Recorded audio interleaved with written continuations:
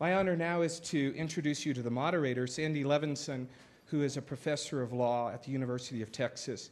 His bio is in the back of your program. He's had a very distinguished life of letters and law, and we're very pleased to have him to moderate this session. Sandy. Not half so pleased as I am to be here. Um, I think among the people at the um, Aspen Institute, tied for first among the people who do not need an introduction are uh, former Associate Justice Sandra Day O'Connor and Justice Stephen Breyer. Uh, I do want to add one item uh, of their respective biographies, though appropriate to the general theme of uh, selecting judges, because both Justice O'Connor and Justice Breyer have actually been selected twice. Justice O'Connor, I think, was among the very last elected judges in Arizona, if I remember correctly, mm-hmm. and then, of course, was selected by President Reagan to join the United States Supreme Court. Uh, Justice Breyer, uh, for many years, was a very distinguished member of the First Circuit Court of Appeals in Boston, appointed that office by President Carter, and I think I'm correct in saying that he was the very last person not, uh, confirmed during the Carter administration. Uh, and so I do hope and assume that we'll talk about uh, judicial selection beyond the topic of the hour, almost literally, judicial selection uh, for the United States Supreme Court. Uh, and I take it that uh, Professor Dinh does not take it amiss when I suggest that he might need a modicum more of introduction uh, than Justices Breyer and Justice O'Connor. Um, Viet Dinh uh, is now, among other things, a very distinguished professor of law at Georgetown University. For purposes of this panel, probably he is uh, the most relevant item on his resume is that he was an assistant attorney general um, in the first term of the George W. Bush administration for legal policy. Uh, and by rumor, hearsay, innuendo, it was suggested among a lot of people that he was very key in selecting judges. Uh, not for the United States Supreme Court, because among other things, uh, President Bush didn't get any appointments to the U.S. Supreme Court during that term. Uh, but I suspect uh, that Professor Dinh might have weighed in on occasion uh, as to district and even circuit court appointments with regard to what the Bush administration had in mind uh, with nominating people to these lifetime positions. In any case, I am thrilled to be here. Uh, we will proceed in the order that people are, are seated. Uh, Justice O'Connor uh, will begin, followed by Justice Breyer, and then Professor Dinh uh, will conclude. Well, what do you want us to start with? Uh, anything you would like to say about uh, the process of judicial appointment, just selection, either at uh, state courts where most states, especially as you move west of the Mississippi, elect judges. I know that you have very strong views about judicial election rather than appointment, uh, or the, uh, the selection process of the United States Supreme Court. All right. Well, I think we're seeing the selection process work itself out again as we speak. We have a vacancy on the Supreme Court with the uh, retirement of Justice David Souter and the selection of his replacement. And I understand that about July 13th, uh, the hearings will begin for Judge Sotomayor. And that's always an educational experience for the country. Once a justice is confirmed and on the bench, you don't see a lot of them, certainly not much on television, because we don't have cameras in the Supreme Court room at this point, and you won't see them. In fact, my own, uh, when I took the oath of office at the U.S. Supreme Court, I took it in the Supreme Court chambers, and the President and Mrs. Reagan were in attendance. I think that's the last time that the ceremony has been conducted there because presidents like to have it on television. So they bring them to the White House and have all the TV cameras. So I think I was the last one uh, sworn in at the court. The selection process normally includes some input from the Attorney General to the President by way of the selection. I know that uh, William French Smith was the Attorney General when I was selected, and he told me that because President Reagan had indicated during his campaign that if he had a chance, he'd like to put a qualified woman on the Supreme Court. And Attorney General Smith began collecting a few names. Well, his list was pretty short because there weren't many women judges, and there were even fewer Republican women judges. So his list was pretty short. He kept it under his telephone at the Department of Justice. and sure enough, there was a vacancy, and William French Smith put out his pitiful little list, and there I was. So uh, I ended up on the court. But, well, and I think President Reagan was very fond of horses and ranch life and so forth. So my own ranch background sort of appealed to President Reagan, I suspect. Now, I don't know, but I would think possibly so. Anyway, the selection process is largely behind closed doors, but the um, confirmation process, because the Constitution says the president shall nominate with the advice and consent of the Senate. So the Senate gets into the act, and it was most of our court's history, the Senate did not summon the nominee for questioning. That began, I think, with Felix Frankfurter's nomination, and he was asked to come over. And well, anyway, it continued, and now it is this grilling process with gavel to gavel television coverage, and it's the only chance the nation has to see the nominee in action, so to speak. It can be a learning process. I think when Chief Justice John Roberts' hearing was conducted, we all watched in amazement. He was very articulate and knowledgeable, and we learned a lot from that process. Now, our states have the choice of how to nominate judges and select them. It was President Andrew Jackson who persuaded some states, starting in Georgia, to elect their judges instead of appoint them by the governor with some kind of confirmation process. It was Andrew Jackson was a real populist, and a lot of states fell for his line and started electing judges and still do.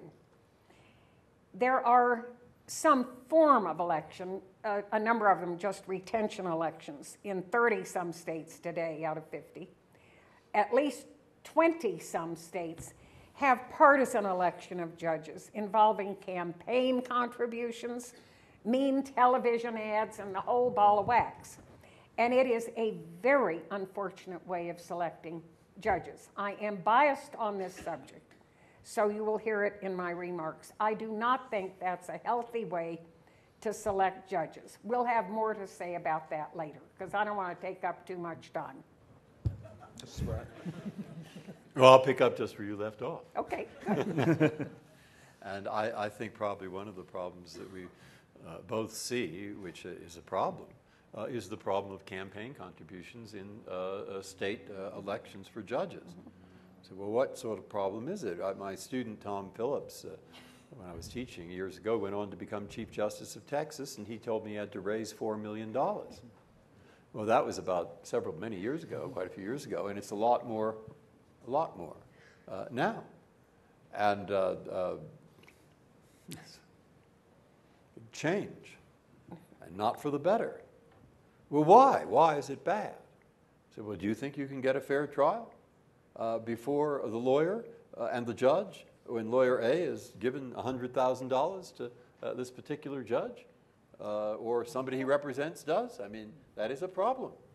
And uh, we heard, I thought very interesting at your conference, Sandra, the conference we had was uh, a judge from Texas who's a trial lawyer who does not like this system. And he said, uh, he asks uh, the other lawyers, well, why do you contribute all this money or your clients contribute the money?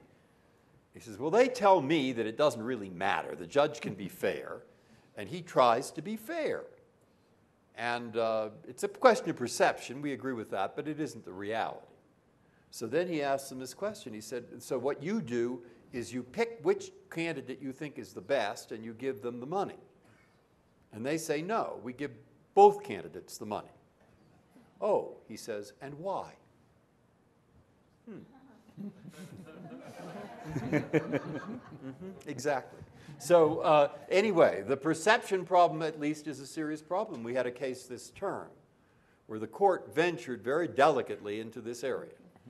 And uh, the question was this uh, uh, one of the, uh, uh, a judge, received $3 million from one individual with a corporation. And the 3 million didn't all go to him. A little bit of it went to him, but most of it went to a PAC, which was against his opponent. So it was in support of him. And then he sat on the case involving this particular corporation. And the question was whether the due process clause of the Constitution, which says you shall not deprive anyone of life, liberty, or property without due process of law, whether that was violated when the judge sat on the case where he had received this rather large amount of money uh, uh, from, uh, directly or indirectly, uh, from a party to the case. And we held five to four that uh, it did violate the clause. And he could not sit on the case having received that amount of money, directly or indirectly. But the four who dissented came up with some pretty good questions. They said to the five, Well, how are you going to administer this? How is it going to work out in detail?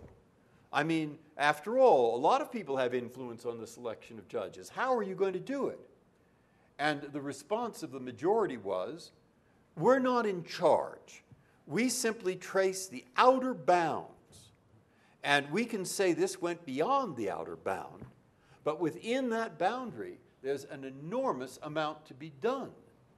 And the people who will do it, who we believe should do it, are the states, the bar associations, the state legislatures, the state courts, and all kinds of rules and regulations can be produced that limit or eliminate this kind of problem. We can't do it.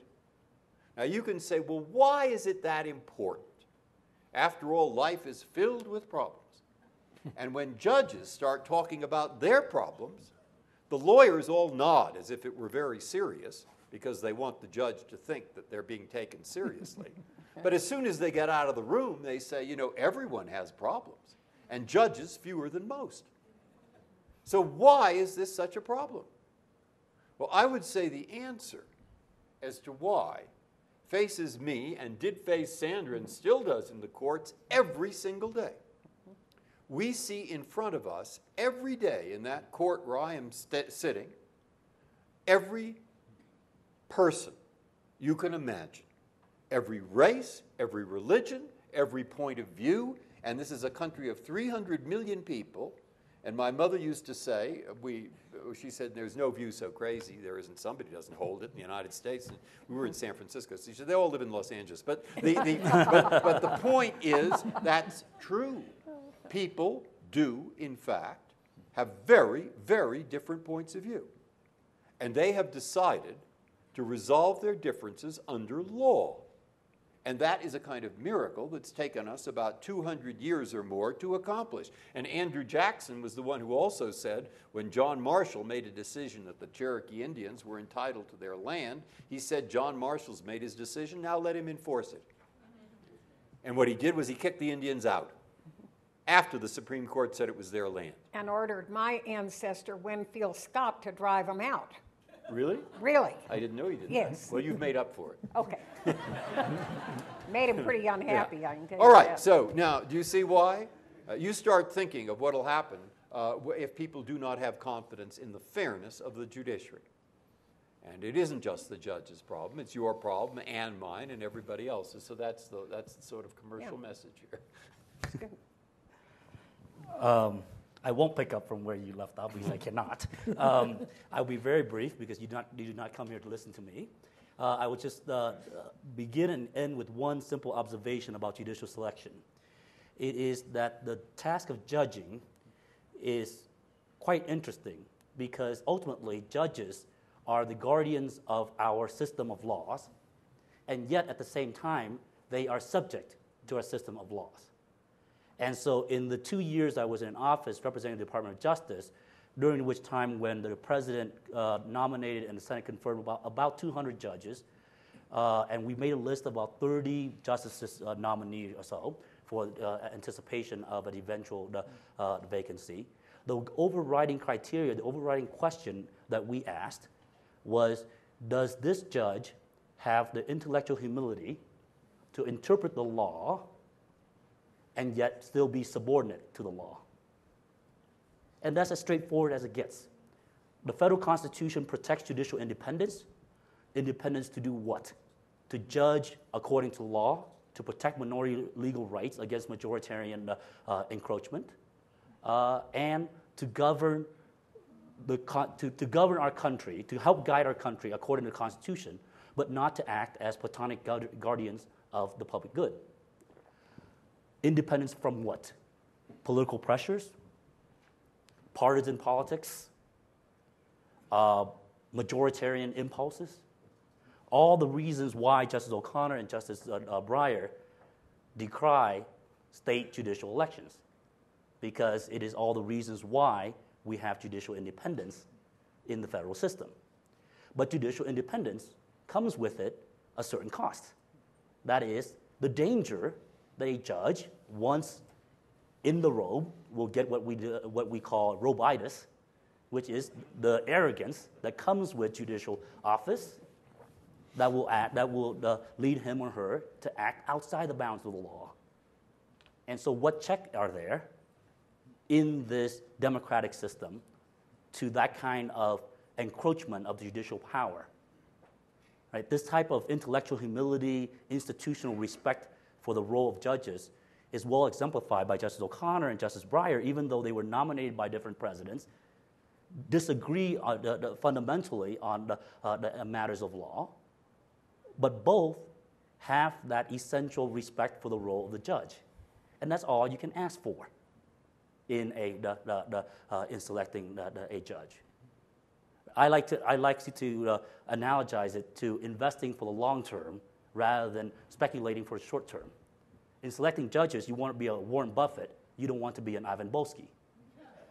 because you can always ask a nominee what he or she would do in a particular case, in a particular uh, controversial issue, or in even a particular the, uh, the, uh, the political movement. That's what you get. What you get in answer is short-term speculation that doesn't give you the sense as to how good of an individual this is as a judge who appreciates his or her role in a democratic society and who has an intellectual uh, uh, and philosophical framework to guide decision making in the long term. I will trade short term cases always for a long term vision of the appropriate role of the judge uh, in a democratic society.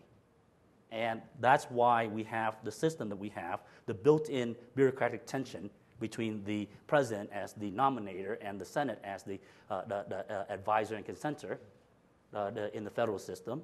And you have this ongoing question at the state, uh, state level should we have elected judges or appointed judges? If appointed, by whom? And if they are appointed, once they are appointed, either by election or by the uh, merit selection, are there mechanisms whereby they can be recalled from office? How long should their tenure be? And for what purpose? Uh, for what reasons can they be removed from office? Those are all the same questions that at the state level the framers struggle with and answer in our Constitution, which is how do we go about selecting, confirming, and rewarding judges for acting like judges? Uh, that is to protect our rule of law and not to violate it. What the framers of the Constitution did for federal judges was to say uh, the federal judge serves not for life, for good behavior. That means the judge can be removed by impeachment for high crimes and misdemeanors. We have not had a Supreme Court justice actually removed. Uh, proceedings were brought against Justice Chase, but at the end of the day, he wasn't removed. Uh, other federal judges have been, unfortunately, a few times. And um, the, uh, the framers also provided you can't reduce the federal judge's salary during the so called term of office. Now, states all have limited terms of office for their judges. Um, it um, has been suggested by people from time to time that we ought to limit the terms of federal judges too.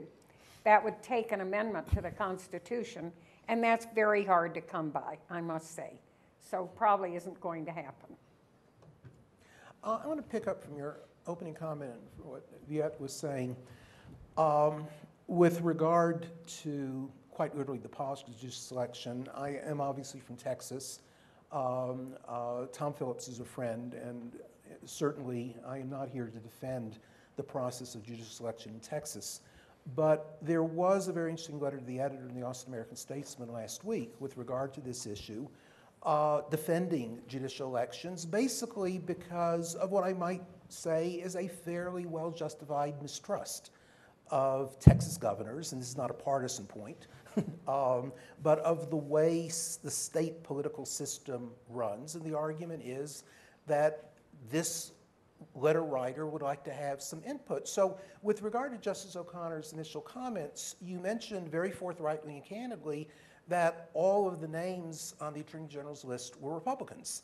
And I am wondering, in looking around for the kind of selfless judges you describe, how many of them were Democrats as against Republicans, or now that we have an Obama administration, whether one expects any Republicans to make the list. I think the last cross party appointment was President Eisenhower's of uh, William Brennan. Uh, Lewis Powell is complicated because he was a Southern Democrat still in the early 70s. Uh, but presidents pick members of their own parties, certainly for the Supreme Court, certainly by and large for what the Constitution calls the inferior federal judiciary. So, why, how do you answer the letter?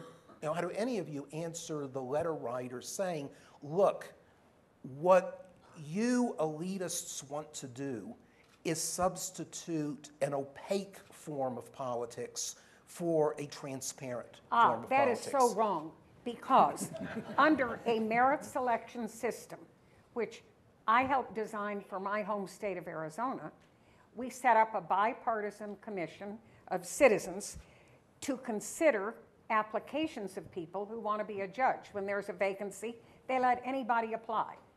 Now, those applications and those records are open to the public.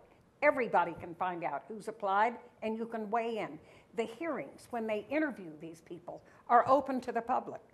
And they ask that the uh, person who wants to be considered file forms and answer questions. That also is open to the public. And the commission is not dominated by lawyers. There are a handful of lawyers on the commission, but uh, by and large, it's citizens and they have to be of both political parties. Now, I don't see how you could get more open than that or more fair. And the commission has worked very well in making recommendations. They have to give uh, at least three names and of both political parties to the governor.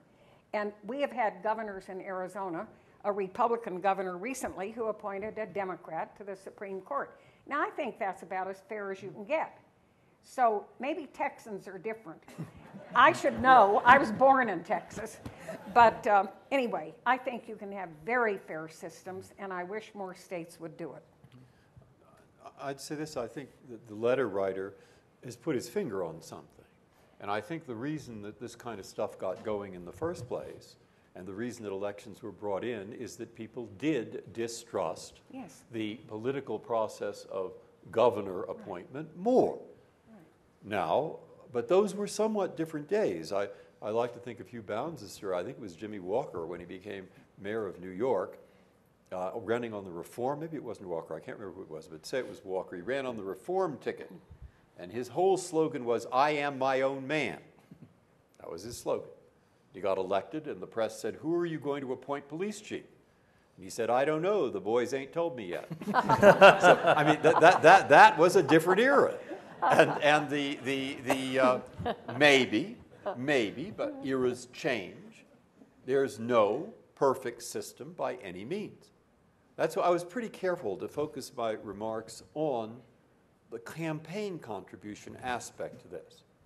When I grew up in California, there was an elected system of a kind, but the governor would appoint to fill a vacancy, and then there was a retention election. Mm-hmm. And it was, there was rarely a contest. I mean, it just didn't happen.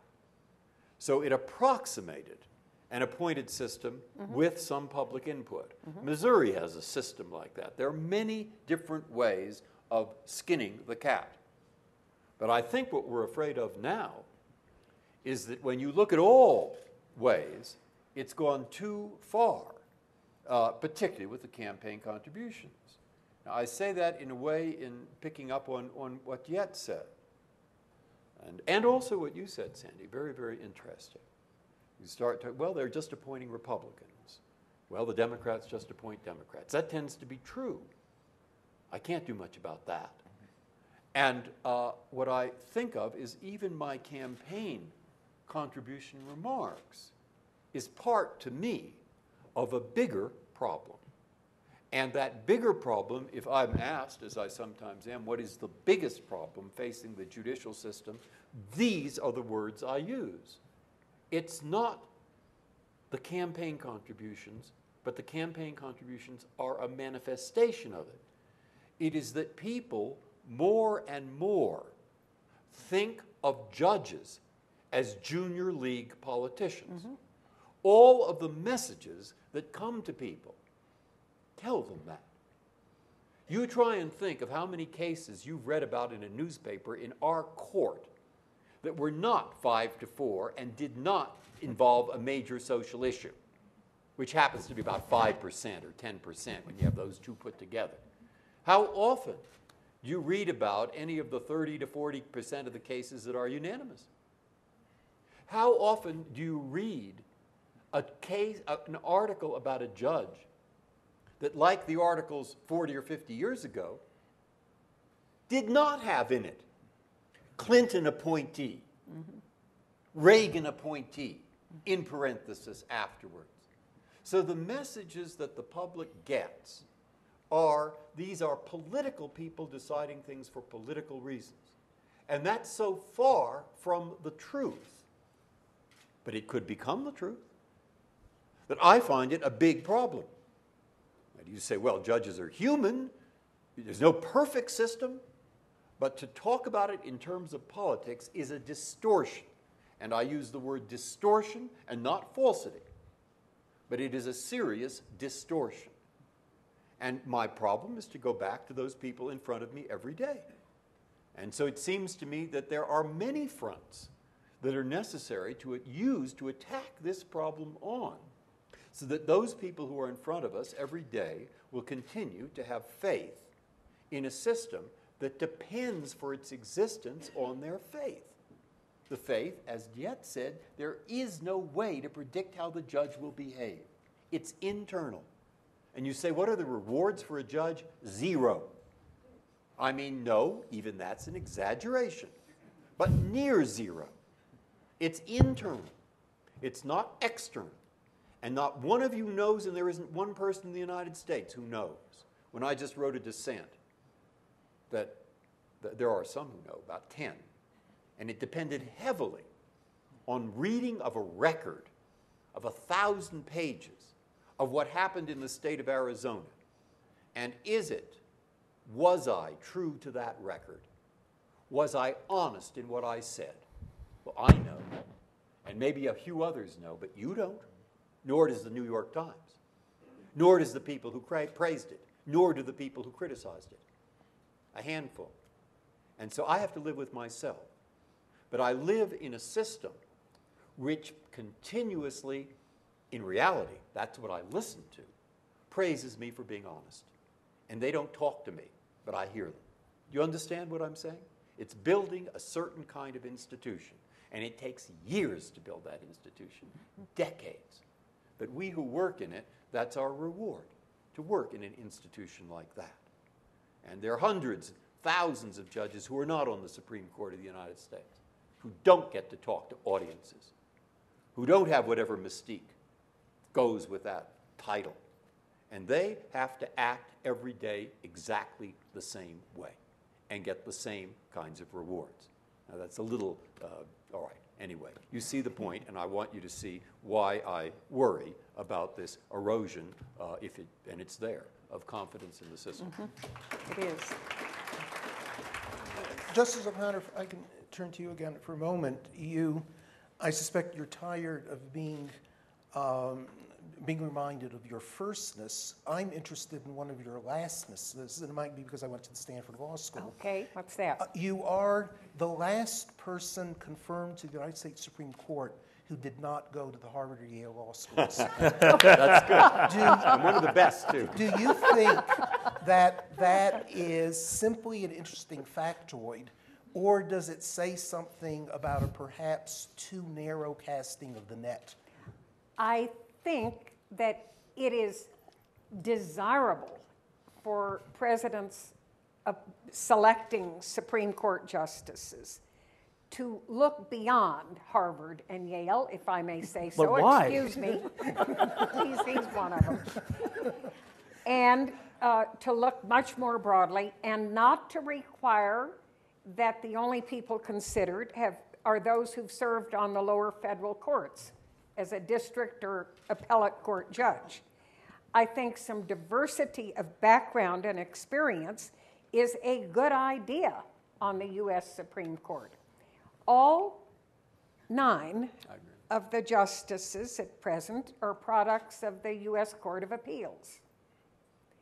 And I guess most of them are Harvard and Yale, aren't they? Uh, yes. What about Yes. Stanford? Well, it used to be Stanford now and then, but that seems to have changed. Um, anyway, I think it's good to have some diversity out there. I agree. Well, one other question about diversity. The last sitting justice, when, who at the time of his appointment was living west of the Appalachians, was Anthony Kennedy. Um, now, Justice Breyer mentioned that he was born in California, but I think it's fair to say that when you were appointed, the story said you were from Cambridge, Massachusetts. where They're you not always accurate. I grew up in San Francisco. Uh, I'm very sorry I'm from San Francisco. You can say what they want. Do you think it would be a good idea if there were judges from, more justices from west of the Appalachians? And should President Obama be concerned about that kind of regional diversity when there is a next vacancy I have to make one little remark about that. I can remember when Justice Byron White decided to retire from the court, and he was from Colorado. The, the Supreme Court during my years there had a number of cases involving water right issues and disputes between different Western states over water issues. Now, believe me, if you live in the West and it's about water, it's important. And you would be amazed how justices who are just a product of east of the Mississippi do not understand water law out in the West. And this is kind of a specialized area. And I was very concerned when Byron White stepped down. And because I could see the immediate effect of people on the court who just didn't understand those issues. So I'd love to see a few more from the West, to tell you the truth.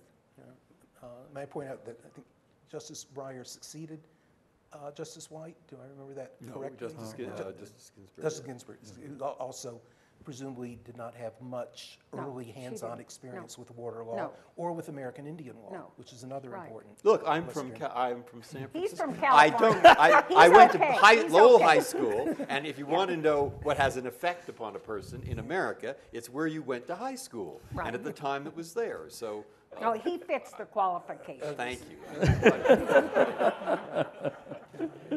Yeah, do you want to, do you want to weigh in? No, no, no. All I can say is that Easterners can empathize with Westerners. Um, uh, So empathy is um, important.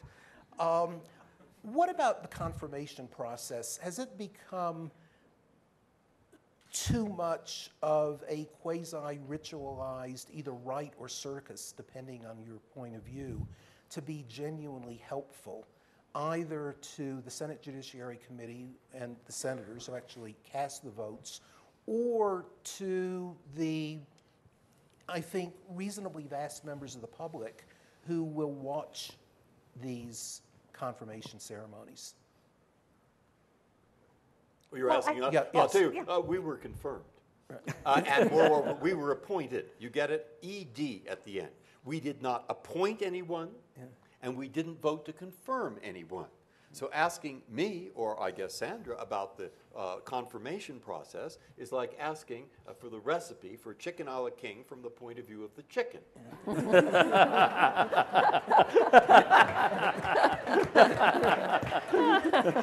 Well, I'll, ta- I'll take a crack at being the chef then, or at least the sous chef. I worked in the Senate, and also the, uh, the, the primary part of my job was actually to guide uh, the nominees through the confirmation process, both in a Republican Senate and after the, the, uh, the switch, uh, after the midterm election in a Democratic uh, the, the Senate. Uh, and so it was a the, the, uh, very interesting experience. We had one rule, uh, and probably goes to serve the, the, prove the point of your question. And the one rule is never take the bait. This is a kabuki dance, it's political theater. Don't take the bait. They'll ask you questions. There are ways to answer them. Don't lie, but just don't take the bait. You know, uh, take an example. Are you in favor of affirmative action? Right. Well, Senator, let me state categorically that discrimination is unconstitutional and illegal in our country. You know, and making, uh, making judgment based on race is bad, uh, bad policy. That said, questions arise all the time as how we apply this, and I won't, uh, I won't know until the specific, uh, specific uh, facts. And you know, there'll be harsh questions about uh, personal finances, harsh questions about personal dem- demeanor and the like. It's just a ritual whereby if you can show that you have the temperament, the, the, uh, the ability to rise above it all, then I think you will be confirmed. Uh, but the, the, uh, the, if you do take the bait, then uh, that is a the, uh, the doomed the confirmation process. I can tell you uh, one thing about my own, which is not anybody else's, and I but I bet this experience is shared. Uh, it's stressful, Oh, very. right? I'm sitting there on one side of the table, and there's 17 senators on the other side, and uh, also it's on television, and I'm not really used to that. And luckily, I was very boring, and people kept turning it off, which was fabulous. But the, the, they will ask what they want to ask. They're the ones who are elected. I'm not. And if they ask things that too many people don't want them to ask, and they do that too often, someone else will be elected. So, what I see this as is from a con- and I hope I knew perfectly well if the people who are tele- looking at those television images, if enough of them don't like what they see, I won't be confirmed. Now, I was, luckily, and I think people are pretty tolerant, to tell you the truth. I, I think Americans, when they look at such a thing, are interested. They're trying to find out who is the person, will this man or woman be fair? I don't think they're being, maybe some are, but I, I have confidence in a sense that the vast majority are not looking at this ideologically. They want to know more or less what this person is. Now, I don't know that that's true, but that was my belief. Now, uh, if I, it had a happy ending for me, I was confirmed.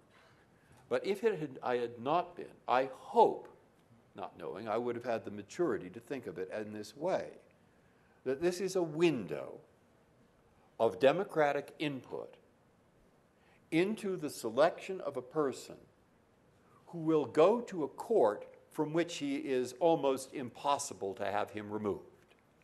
And yet, that person will have a lot of authority and ability to make decisions that affect millions of Americans. Now, we don't want, for the reasons I've said, to have such a person, the judge, be easily removable because he or she is there to protect people from these swings of public opinion. But in the normal constitutional compromise, we have a way in a democratic system of having an input into this process leading to the selection of a person who is removed from democracy in the nature of the job. All right? That's not a terrible compromise. Now, if you don't like the system as it has evolved, or if you think that it's far too much in the direction of kabuki theater, then the solution to this is to explain this to people through the bar and the, and, and the other institutions of molding opinion in a democratic society. And believe me, if people begin to share that opinion, it will change. And if they don't, well, then it won't. And nothing I could say would make a difference. I suspect um, the senators love the Senate hearings on uh, Supreme Court justices because it's carried gavel to gavel on the television. And they sit there looking very erudite. They can get all dressed up and ask intelligent questions. And um, they love it. Think what they'd have to pay for that if they paid for it in normal circumstances. so it's not going to change. Believe me, they just love it. And that's why the Senate never had public hearings in the years before television. This is a, a product of our TV age, I'm afraid. But uh, uh, on the plus side, and there, there's very little on the plus side, but on the plus side is that Americans get to see for themselves a little bit of the uh, character and presentation of the nominee. And that may be their only chance. They may never have another chance to see this person and listen to them talk and form an impression. So, to that extent, I would think people would sort of like it. Now, and of course, we're talking about Supreme Court nominations. Yeah. I d- very seriously doubt that any district court nomination or circuit court nomination has been covered on television. I think that's uh, right. Though, though they might be very illuminating. Uh, two other lasts before we turn to questions. I think that I am correct in saying that Justice O'Connor is the last person appointed to the Supreme Court who had run for elective office and elected to elective office. Mm-hmm. Right. Uh, you were, I think, majority leader in the Yeah, I was in the Arizona State Sen- Senate, senator. for Uh, some and you are the last person appointed to the Supreme Court from a state court. Justice Breyer, I know from his having visited, uh, a very wonderful visit when I was teaching at the Yale Law School three years ago, and, and Justice Breyer visited my class.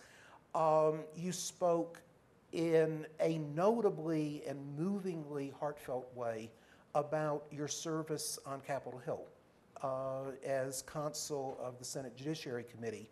And I think that you are the last person appointed to the Supreme Court whose experience has been on Capitol Hill rather than the executive department. And as we talk about various diversities, uh, whether it's regional, the school you happen to go to, would the court benefit from having a successor sometime to Justice O'Connor who would actually run for elective office and won elective office and actually experienced the problems of elective office? And would we benefit in the future from having somebody who had worked on the Hill rather than, say, in the Office of Legal Counsel or the Office of the Solicitor General, as distinguished as those offices are? Other things being equal, absolutely. I know, absolutely. I think, uh, of course. And uh, I, I think that's a, a reason why uh, Justice O'Connor is very much missed. especially the Hill, because the Hill is a strange creature. And also, state legislatures, your state capitals mm-hmm. are strange. If, peop if you mm-hmm. focus your, your study of American government basically as the institutions and never experienced Congress, I think you can study the presidency and you study the court without having experienced it. But I don't think anybody can sort of appreciate mm-hmm. the Hill as a as a living institution. Is there any reason to think that Congress is stranger than the executive branch, which you served in? I mean, some know- of us might say the executive branch, in a number of ways, is pretty strange, but people in the Department of Justice may just think, look more naturally to people in the executive branch as potential judges than people who have been in this crazy legislative world. Well, sure, but, but, but remember that the, the legislative, the lawmaking power, of which the, the primary task of judges to interpret the law, is in the legislature.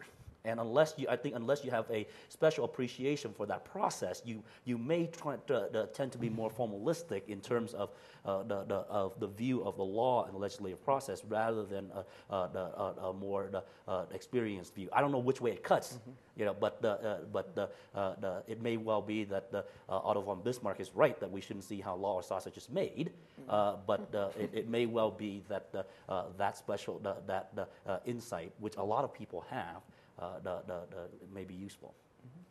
Um, I think that we ought to turn now to uh, questions and comments from the audience. There are uh, some microphones, and if you would go to the microphone, and I'll call on you, and if you just please identify yourself before your question or comment.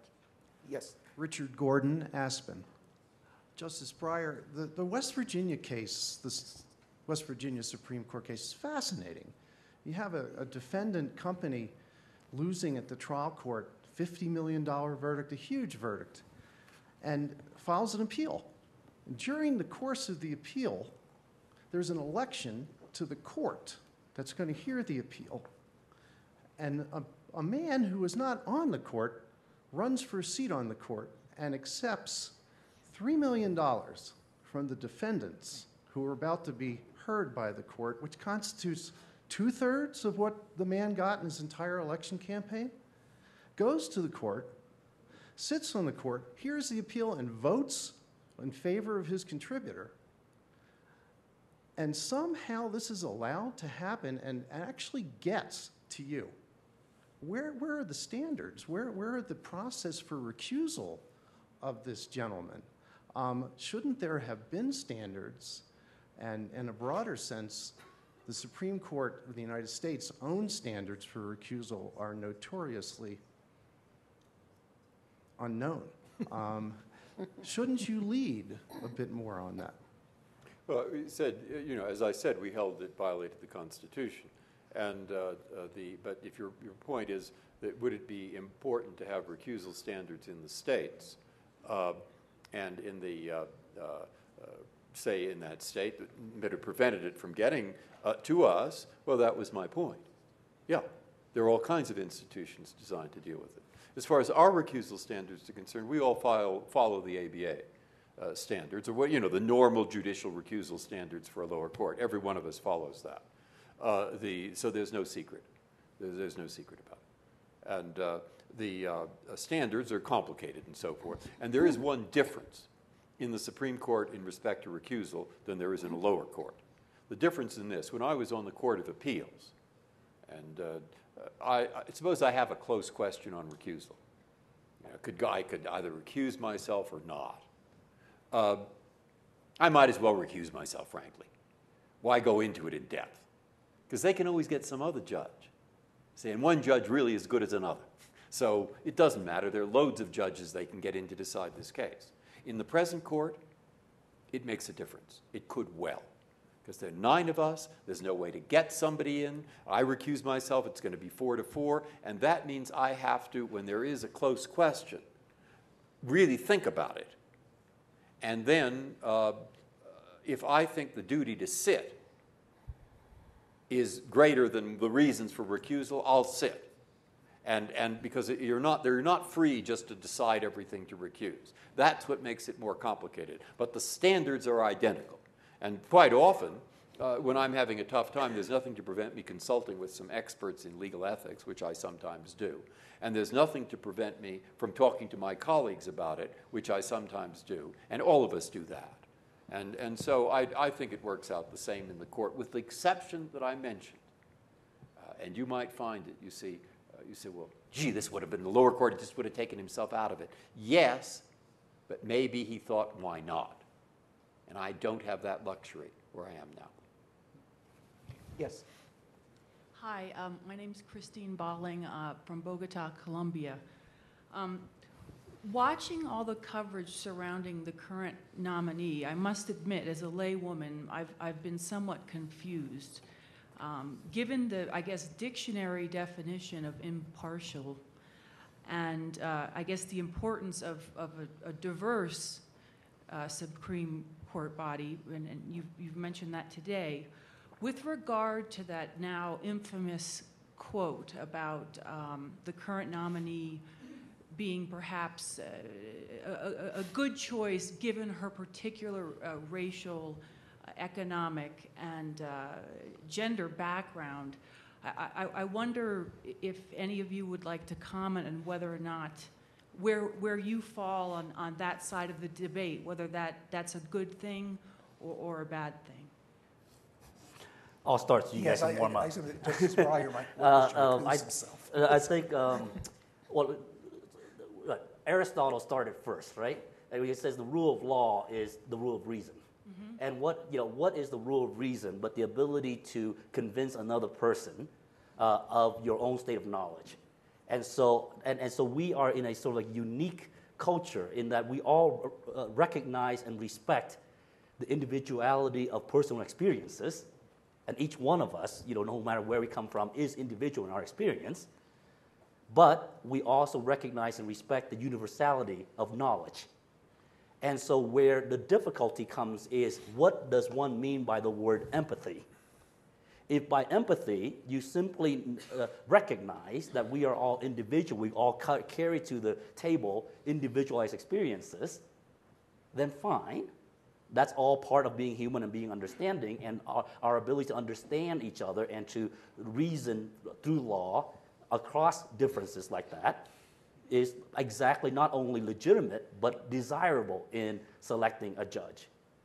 But by personal experiences or specific empathy, you mean that there are certain barriers that one cannot cross intellectually in order to achieve the, a rule of reason and therefore the rule of law, then it seems to me uh, that would not be only illegitimate, uh, but unjust in a, the, the, the, in a system uh, the, of a democratic rule of law. Uh, and I know that we're all human. I know that the, uh, the judges are human too. I know that there's sin in the world, and God knows I've sinned from time to time. But that doesn't mean that we aspire to sin. And li- likewise, uh, it seems to me that even though judges are the, uh, the human and sometimes they the, are overcome by passions or prejudices or, the, uh, the, the, or whatever in order to, uh, and so that they the, uh, violate their oath of office to be impartial uh, to the rich and the poor, uh, we shouldn't aspire to it as a criteria. And I, you know, and I suspect, or actually I know because they've said this publicly, that neither President Obama nor uh, Judge Sotomayor means empathy and personal experience in that negative, illegitimate, unjust uh, the sense of the word. And I guess that's what the, the, the, the confirmation hearings will uh, end up uh, the, trying to illuminate. Uh, on Aristotle, just one moment. Aristotle also spoke about the importance of equity. And um, I clerked for a district judge who spoke quite often about the importance of an equitable consciousness as well as what he would sometimes refer to as blind rule following. And it does seem to me that you might be stacking the deck in favor of a very particular model of law and not being sufficiently sensitive to the importance of context and the human realities that will emerge in any given case. I mean, I think of the strip search case uh, that was decided last week, where Justice Ginsburg spoke uh, quite candidly and quite publicly about the importance of being able to look at the world from the perspective of a 13 year old girl who is being forced into a strip search. So, But know, seven of her justices agree with her. Yes. agree with her. Right. Agree with her. So the, the, the story cuts both ways, doesn't it? uh, well, the, the question is, how, what would Aristotle have thought about the best way? But back to questions. Yes, please. I believe he's next. Oh, I'm sorry. Oh. Okay, we'll go back and forth. Yes. Okay. Hi, my name is Richard Horvitz. I'm from Cleveland, Ohio. I, I'm involved with the Board of Visitors at Duke Law School, where I served with Sandy for many years. One of the programs we have at Duke is a public law program to try to promote a public understanding of law and its relationship to society. And we have educational goals for the public. Uh, Justice Breyer made a very passionate and compelling case for or description of how a judge, what their mindset should be in deciding the case, how they should approach their duties uh, in a non selfish way. How do we get the message across to the public to, so that they understand that when they s hear these confirmation hearings, when they see judges, it isn't about winning or losing this specific parochial issue that may be of interest to them, but a process that's critical to our government. The Supreme Court is one of the few uh, institutions I think s- still held in very high esteem by the American public. Can they be a help in this?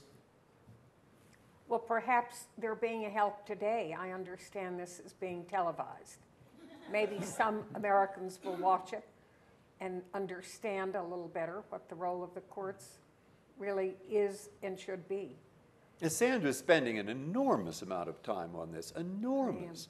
And, and it, it is, it's such a good question because it's, it's, it, the, her answer and mine to this is there's, oh, as, as sort of uh, abstract and general and impossible as it sounds, the only way to do this is when someone is in the 11th grade of high school, by the end of that year, he or she understands the rudiments of how democratic government works. So she is at Sunnylands with the Annenberg Foundation and has Kathleen Jamieson uh, working on films uh, uh, explaining Supreme Court cases, and she'll explain it. And they're in 44,000 classrooms, and which is fabulous. And, and then she has some other project going with the uh, with the d- teachers. It's such a big country that you at Duke on that board are a tiny but necessary part, and so are we.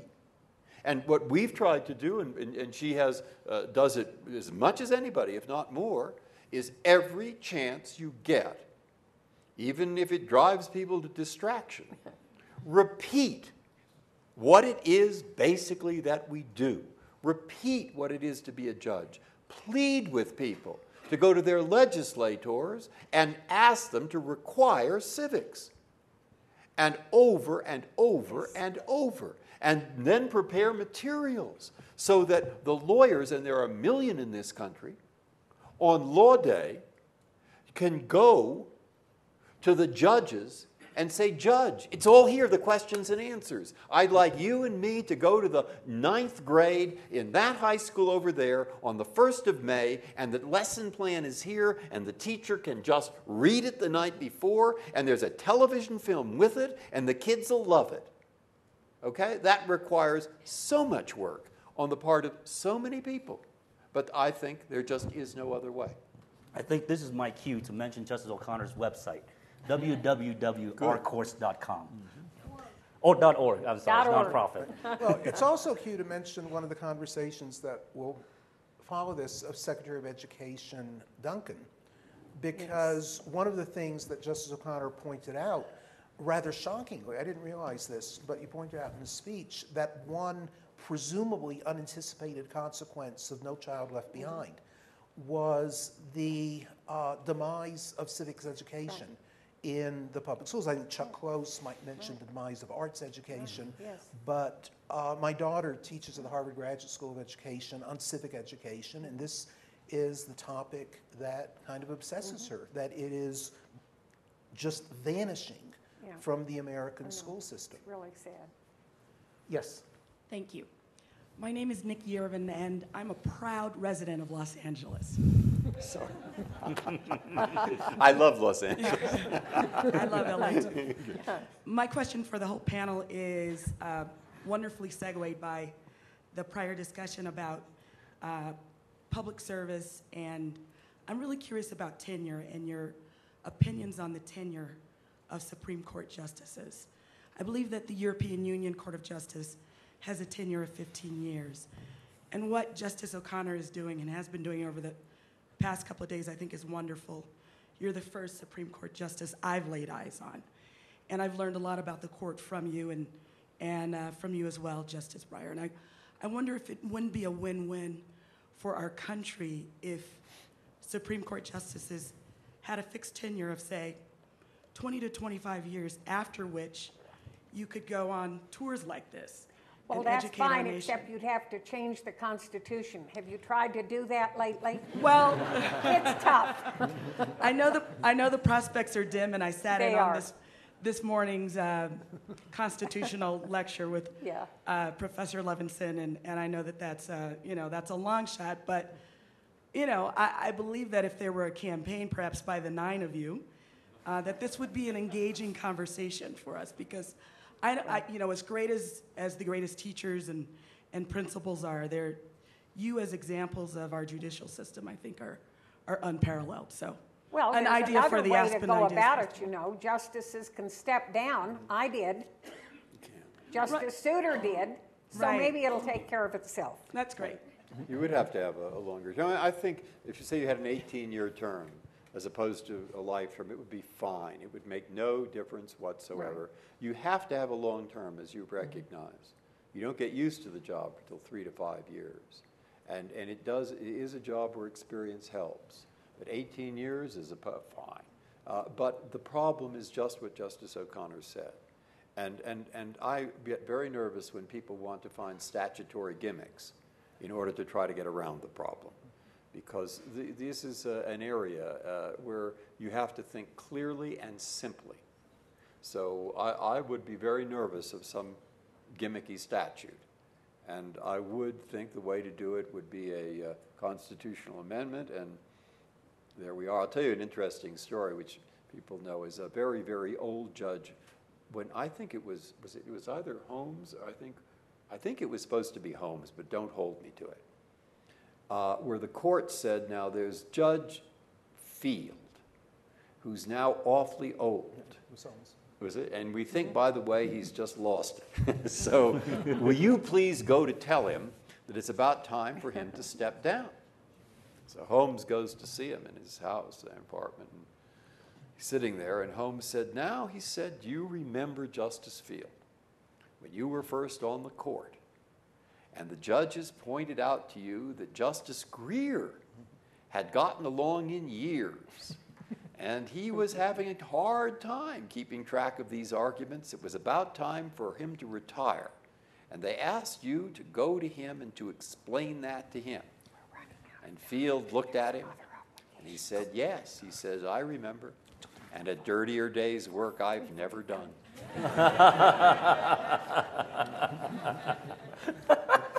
That's great.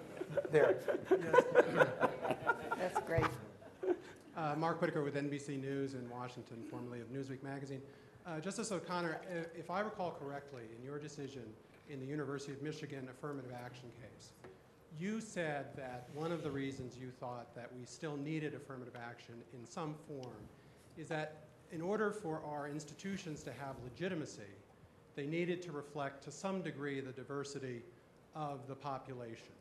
Um, do you think that also applies to the judiciary?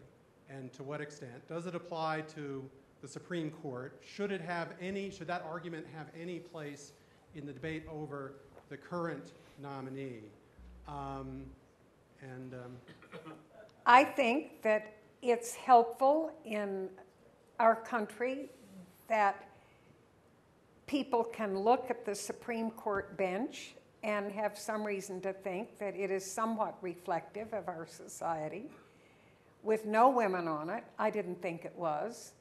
With one wo- woman on it, I thought that was a very small beginning. Um, we're getting another one. I think that helps. And we have a nominee who also is Hispanic. That probably will encourage Hispanics who live in this country. We have an African American on the bench, and that probably is an encouragement to African Americans. So we're not totally bereft of some diversity on that bench at this point. I And think how- we can do better. and if, and if that is one factor, how do you weigh that factor against other factors that should go into the selection? Well, that's up to the judges? president and the Senate. They can weigh them. They're perfectly capable of that. You don't have to ask the Supreme Court justice. We're lucky to get there, I guess. Quite right. But um, I think that's one of the concerns that any president would have in selecting someone. Viet, when you were offering advice on potential nominees for the district or circuit courts, to what degree did diversity concerns of the kind just described Um, feed into your judgments? Right, uh, different kind of uh, analysis than uh, uh, Michigan, obviously, because uh, judicial uh, the, uh, positions are not entitlements as they, the, the, as they are in educational the, uh, the, the, uh, processes, uh, and the decision is not based on it's, it's a political decision. Uh, it is for the president and for the Senate to uh, to judge. That said, um, President Bush had this uh, rather um, I guess opaque would be a, a good uh, description of it, uh, standard called affirmative access. And everybody keeps asking what is affirmative access, and nobody can really articulate what affirmative access is because everybody knows what affirmative action is and uh, is not. Everybody knows what quotas is, everybody knows what plus systems is, and, and nobody really a- articulated what affirmative access is. And I think the way it worked in practice for us is something like this. If we go into, as it has uh, uh, happened, we go into the president and say, we have this seat that is open in New Orleans and here is the name of the candidate that the, the committee recommends. And it happens to be a white male. The president will lower his gla- reading glasses and said, Are you sure? We said, Yes, this is what everybody has, uh, has agreed to. And he said, and he starts asking the next question. Well, who did you look at? Who are the top three besides this guy? And if that the, the, the top three turns out to be all white males also, he'll just say, go back, do your homework. And if we go back, another the, the, uh, round go, uh, goes around, and we come back to the president, and the, the same or a the, uh, the similar name comes in, and he says, he asks the same question. I said, and by the way, we've gone back and done all this stuff. And he says, fine. If this, uh, uh, if this is the, the, best recommendation, then the, the, uh, I will trust you. But I want to make sure that you have not been tunnel visioned into uh, the, the, this decision because for you not to be able to find African American in a predominantly African American uh, district uh, the, seems to me uh, an oddity. But, but those are the kinds of uh, uh, the questions that are asked in a very practical manner. Yes. Uh, Charlie Firestone from the Aspen Institute Communications and Society program. Uh, Justice O'Connor, you've done a tremendous job in making the importance of judiciary uh, an important issue for all of us in civic education. The answer often for civic education is transparency. And so, Justice Breyer, I would like to know why the Supreme Court does not make its arguments available to the public through televised uh, arguments, You mean the oral argument? oral arguments. They are available. It's just a question of when they're available. Why, why don't we have television in the courtroom? Well, we do have television in a lot of courtrooms, but Uh, oh, yeah, you do. I mean, so, Court. so what, what, what, why do we not have television in the Supreme Court to, tra- Right. to uh, have the oral argument? Because people, I guess, and most people there think the negatives outweigh the, uh, the positives at this moment. Uh, the negatives, the positives are obvious positives. The positive would be it's be quite educational for people to see. And I think what they discover are nine people who do their job in an institution that works pretty well. And they'd see that some of these issues that uh, they think are so obvious one way or the other are far from obvious. And uh, I'd like to think, in that respect, a very minor issue, but it turned out to be important about the term limits issue, whether that violated the Constitution. My goodness, that was an interesting argument. Because for every argument you had on one side, you had one on the other. Jefferson thought one thing in Story, Madison and Hamilton the other. So there'd be a tremendous educational value. You say, well, well, why not do it? Well, there are arguments on the other side, and I can tell you what they are. I'm not necessarily endorsing one or the other. The arguments on the other side in the Supreme Court are one, people would worry because of the symbolic value of the court, that the television would then be in every courtroom in the country, including all the criminal cases where you have concerns about witnesses and jurors and intimidation and so forth. The second argument that people sometimes make is that it wouldn't be understood very well that this oral argument's only 5% of what goes on. Most of it's in briefs. And the third, which is, and people relate to human beings, you know. And what what our job requires is not to focus on those particular individuals in the cases. And that's probably the most important thing. The nature of our job is to worry about the 300 million people who will have to live under this rule of law, interpreted one way or the other. And those people are not in that courtroom. Rather, there are two lawyers and there's a plaintiff and a defendant. And people might, being people, as very nice quality about human beings, they focus on individuals. You meet somebody, you relate. You see him in a picture, you relate a little less. You see him and hear about him in a radio, still a little less. You still news stories, still less. He's a statistic. You hardly can keep your eyes open. That is a characteristic of human beings. So there are concerns there. Now, which way those concerns balance out, I don't know. It hasn't really come up very much. People have different views on that, and I'm not going to express my own view one way or the other on this. But we're moving in a direction where more and more is on television, and maybe people adapt to it more and more. But at the moment, that's all I can say about it. Any further last words? Um, I obviously haven't convinced you, but the- I'm just trying to acquaint you with the arguments on the two sides. well, Oh, I forgot one, which is important psychologically. It's not a logical argument, but it is important psychologically. Every one of us, while you're there while I'm there, not one of us thinks that we're doing at any minute what 99% of the people think we're doing, which is doing what we want. I think almost all the time I'm not. We're trustees. That's what we think of. We are trustees of an institution. And that institution has served America well in the past, okay, we hope in the present, and who knows about the future.